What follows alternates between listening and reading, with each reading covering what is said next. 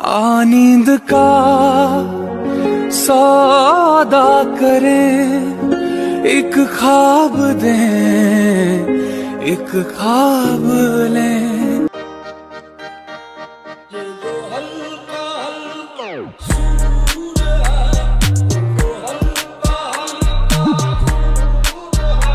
जतन धूप लगे छाँव बन खुशियों के खातिर मैं सारे। जग से लड़ जावा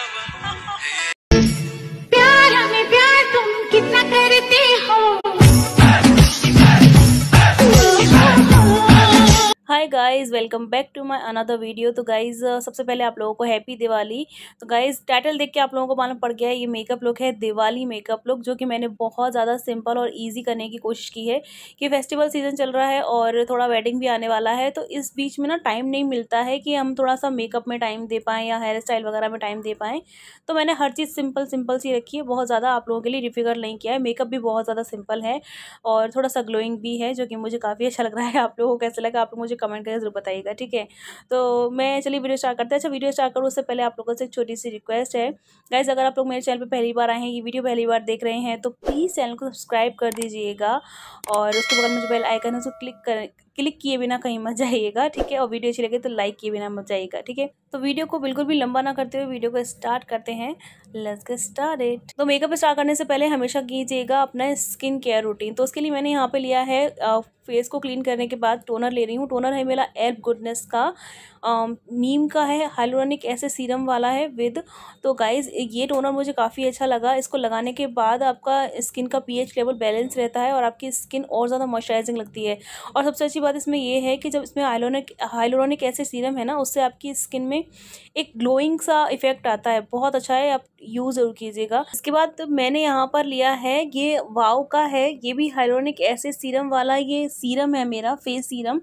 तो इसको मैं यूज़ कर रही हूँ गाइज़ हाइलोनिक ऐसे सीरम आपकी स्किन के लिए काफ़ी ज़्यादा अच्छा होता है। इससे आपकी स्किन बहुत स्मूथ एंड थोड़ी सी सफल बनती है और बहुत मॉइस्चराइजिंग रहती है गाइज़ आपकी स्किन के लिए काफ़ी अच्छा है तो आप यूज़ ज़रूर कीजिएगा। और ये भी जो आ, सीरम है गाइज़ ये फेस सीरम मुझे काफ़ी अच्छा लगा। कुछ टाइम से मैं यूज़ कर रही हूँ। रिव्यू आपको बहुत जल्द देने वाली हूँ। एंड अब मैं यहाँ पर मॉइस्चराइज़र यूज़ कर रही हूँ। इसके लिए मैंने मामा अर्थ का ऑयल फ्री मॉइस्चराइज़र लिया है। ये ओपटन ऑयल फ्री मॉइस्चराइज़र है। और ये भी काफ़ी अच्छा है गाइस इसकी स्मेल भी बहुत ज़्यादा अच्छी है। मॉइस्चराइज़र आपकी स्किन के लिए होता है कि आपकी स्किन के जब आप मेकअप वगैरह करो तो आपकी स्किन को बहुत लंबे समय तक मॉइस्चराइज करके रखिए आपका फेस केकी ना बने। तो उसके लिए काफ़ी अच्छा है जिसकी स्किन ऑयली भी है वो भी यूज़ कर सकते हैं। अब मैं यहाँ पे यूज़ कर रही हूँ मामा अर्थ का ये है आ, अंडर आई क्रीम है ये।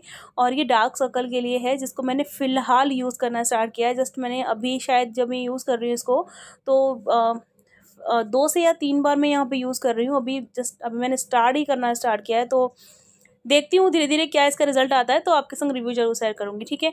ये लगा लिया, इसके बाद मैं यहाँ पे लगाने वाली हूँ लिप बाम लिप बाम के लिए मैंने यहाँ पे लिया है Biotique bio fruit lip balm है, और ये वाइटनिंग वाइट वाइटनिंग या ब्राइटनिंग वाला कुछ लिप बाम है फ्रूट लिप बाम है ये। और इससे मुझे बायोटिक का लिप बाम काफ़ी अच्छे लगते हैं। इससे पहले भी मैंने यूज़ किया, वो बिल्कुल फिनिश हो गया, अब इस मैंने दूसरा लिया है इसको। इसके बाद मैं प्राइमर यूज़ कर रही हूँ। प्राइमर के लिए मैंने यहाँ पर लिया है इनसाइट का प्रो मिनिमाइज प्राइमर है। प्राइमर बहुत ज़रूरी है आपकी स्किन के लिए। इससे आपकी स्किन बहुत अच्छे से आपकी स्किन स्मूथ बन जाती है। बहुत ऐसी हो जाती है कि आप मेकअप लगाते हो फाउंडेशन लगाते हो तो आपकी स्किन की सतह तक नहीं जाता तो काफ़ी अच्छे तक आपके मेकअप को लॉन्ग लास्टिंग बना के रखता है। अब मैं फाउंडेशन यूज़ कर रही हूँ, ये है मामा अर्थ का फाउंडेशन। ये मेरा शेड नंबर शेड नंबर मेरा है न्यूड कुछ कलर करके है। मैं डिस्क्रिप्शन बॉक्स में आप लोगों को सबको लिंक डाल दूँगी। एंड डॉट करके लगाने के बाद मैं इसको ब्यूटी ब्लेंडर के साथ ब्लेंड कर रही हूँ। डैप ब्यूटी ब्लेंडर है। एंड ये भी मेरी स्किन टोन के जैसा ही है और काफ़ी अच्छा फाउंडेशन लगता है। बिल्कुल भी केकी नहीं लगता है फेस के ऊपर। और अब देख ही रहे हो ब्लेंड कर रही हूँ तो कितनी स्मूथली ब्लेंड भी हो रहा है ये। मुझे बहुत अच्छा लगा। एंड इसमें आपको एक पंप वाली बॉटल भी मिल जाएगी। मैंने यहाँ स्टार्टिंग में जब फाउंडेशन आया था, ये न्यूली लॉन्च हुआ था, तब इसी तरीके से था बट मुझे इसका स्पेशला बिल्कुल भी अच्छा नहीं लगा गाइज़ बट मुझे पंप वाला अभी तक मैंने यूज़ नहीं किया है, वो भी लूँगी तो आपको बताऊँगी, ठीक है? अच्छा ब्लेंड हो गया, इसके बाद में यहाँ पे ले रही हूँ कॉन्टोर कर रही हूँ, इसके लिए मैंने ये लिया है एन वाई बे का कॉन्टोर स्टिक है, जो कि मेरा फेवरेट है गाइज़ ये वाला कॉन्टोर स्टिक मेरा बहुत अच्छा है, इसका जो चॉकलेटी कलर है ना कॉन्टोर का मुझे बहुत अच्छा लगता है, बहुत अच्छा है और फिंगर से बहुत स्मूथली ब्लेंड हो जाता है। मैंने इसका स्टिक वाला फाउंडेशन भी यूज़ किया हुआ है तो वो भी बहुत अच्छा है हल्के फुल्के आपके मेकअप के लिए।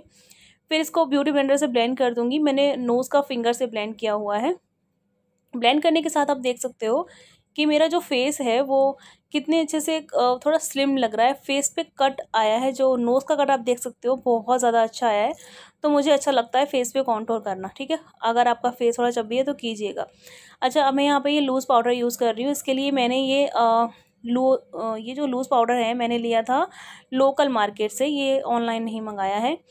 और इस इसका नाम भी मुझे कुछ याद नहीं है। मिलोना मिलोना करके कुछ है इसका तो रिव्यू दे दूँगी मैं अगर मुझे लगेगा कहीं मार्केट में दिखेगा तो। नहीं तो और बहुत भी अच्छे लूज़ पाउडर है, आप वो यूज़ कर सकते हो लेकमे का यूज़ कर सकते हो ब्लू हेवन का यूज़ कर सकते हो स्टेक वाकी का यूज़ कर सकते हो, बहुत सारे मामा अर्थ का भी लूज़ पाउडर है, आप वो भी यूज़ कर सकते हो। तो जस्ट मैंने लूज़ पाउडर पूरे फेस पे सेटिंग कर ली है एंड थोड़ा सा आइज़ के नीचे लगा दिया। अब मैं कॉन्टोर कर रही हूँ, है ना? तो मतलब ब्राउन्ज़र कर रही हूँ तो ब्राउन्ज़र के लिए मैंने इस कलर को पिक करने के बाद ब्रश के साथ ब्राउन्ज़र ले रही हूँ।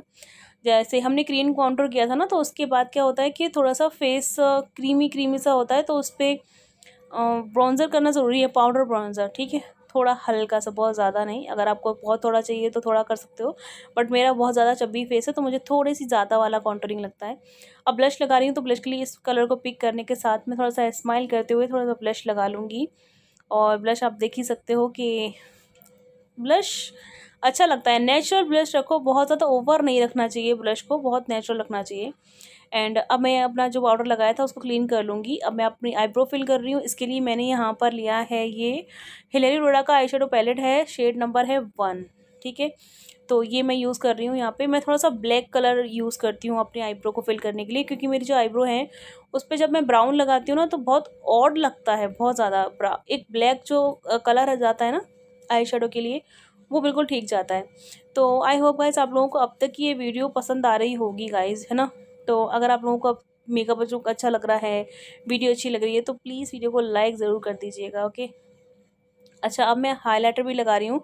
साथ ही साथ मैंने हाईलाइटर भी लगा लिया कोई भी हाईलाइटर यूज़ कर सकते हो आप। एंड अब मैं यहाँ पे इस कलर को शेड को पिक कर रही हूँ, जो जो कि लाइट ग्रे है। एंड मेरी जो साड़ी है, वो थोड़ी ग्रे में आएगी। एंड मेरा ब्लाउज़ आप देख ही रहे हो, थोड़ा शाइनिंग में ब्लू ब्लैक वाला है।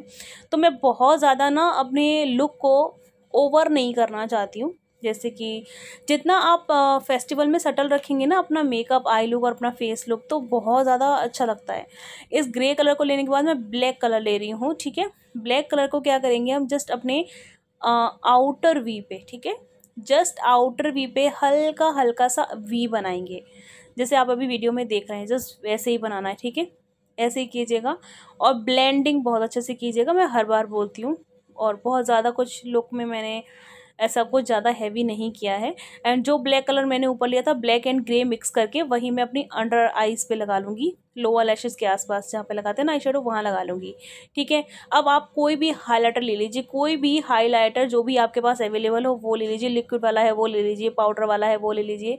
कोई भी ले सकते हो एंड अपनी जो लिड पे है ना, वहाँ पर प्लेस कर लीजिए। मैंने हाईलाइटर नहीं दिखाया क्योंकि फिर बोलेंगे हमारे पास ये नहीं है, ये नहीं है। तो जो भी है, वो यूज़ कीजिए, ठीक है? तो मैंने यहाँ पे हाईलाइटर लेके अपनी पूरी आईलिड पे लगा लिया है। पूरी आईलिड पे इस हाईलाइटर को लगाना है। हल्का सा जो ग्रे वाला आपका ब्रश था ना जिससे आपने ग्रे कलर लगाया था, उसी से पूरा हल्का हल्का ब्लेंड कर देंगे। थोड़ा सटल लगेगा बहुत अच्छे से, ठीक है?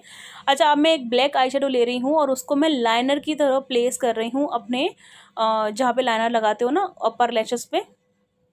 लेसेस के पास जहाँ पे लाइनर लगाते हो ना, वहाँ पे। जस्ट मैं सिर्फ़ आई शेडो को प्लेस कर रही हूँ, ठीक है? मैंने कोई लाइनर नहीं लगाया है।